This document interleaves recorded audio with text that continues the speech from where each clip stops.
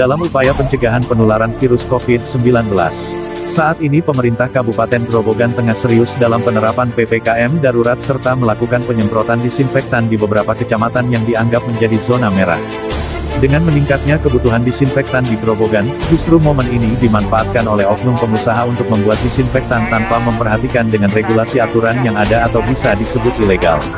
Seperti yang ditemukan di salah satu toko terbesar di Kecamatan Grobogan ini, menjual disinfektan yang diduga belum memiliki izin di berbagai sektor dengan jumlah yang cukup besar. Hal tersebut dapat dilihat dalam setiap labelnya tidak tertulis komposisi serta terdaftar di BPOM. Tidak hanya cairan disinfektan saja yang dijual di toko tersebut, melainkan banyak produk seperti hand sanitizer, pembersih keramik, serta pembersih jamur kaca mobil.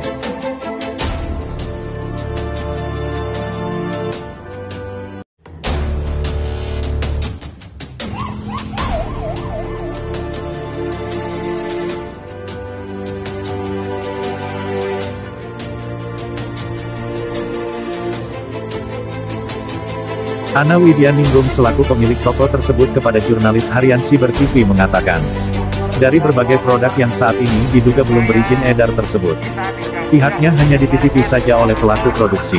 Dan dulu di awal waktu menitipkan di toko miliknya dari pihak produsen menyampaikan bahwa barang-barang tersebut tidak ada masalah dalam hal perizinannya.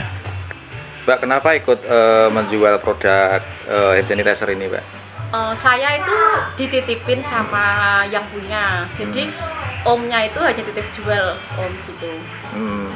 terus setelah mengetahui ini bahwa produk ini diduga masih ilegal ini mbaknya nanti ke depannya seperti apa? Ya akan saya kembalikan ke pemiliknya soalnya hmm. dari awal tuh orangnya tuh bilangnya aman aman gitu tuh ya kita ikut bantu menjual ya om apalagi kondisi hmm. seperti ini hmm.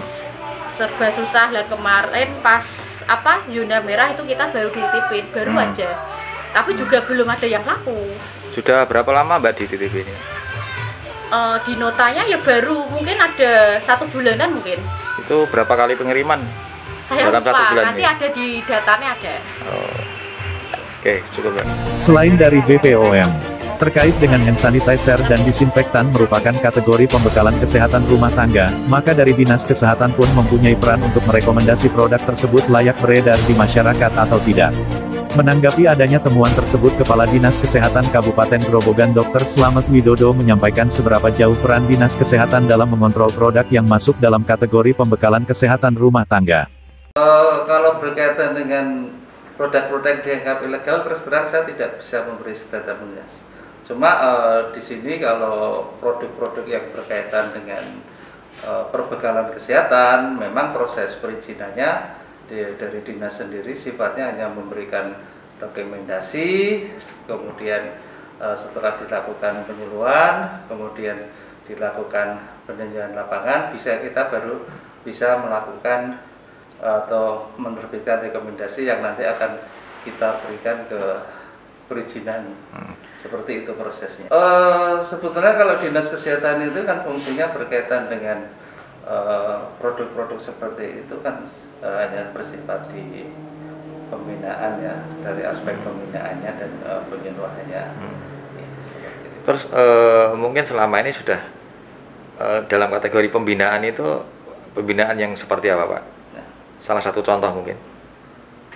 Ya kita sendi uh, kita sendiri kalau ada produk yang berkaitan dengan perbegalan kesehatan, misalnya mungkin berkaitan dengan uh, misalnya ada obat atau mungkin ada produk-produk yang sejenis uh, perbekalan itu memang ya selama ini kita hanya memberi pembinaan kepada produk-produk yang bersangkutan. Meski pelaku produksi dapat ditemui langsung pada Rabu tanggal 21 Juli tahun 2021. Namun sampai pada berita ini ditayangkan, dari pihak produsen masih enggan untuk memberikan keterangan dan masih menolak untuk wawancara dengan media. Dari Kabupaten Grobogan, Jawa Tengah Suwarno Harian Siber TV melaporkan.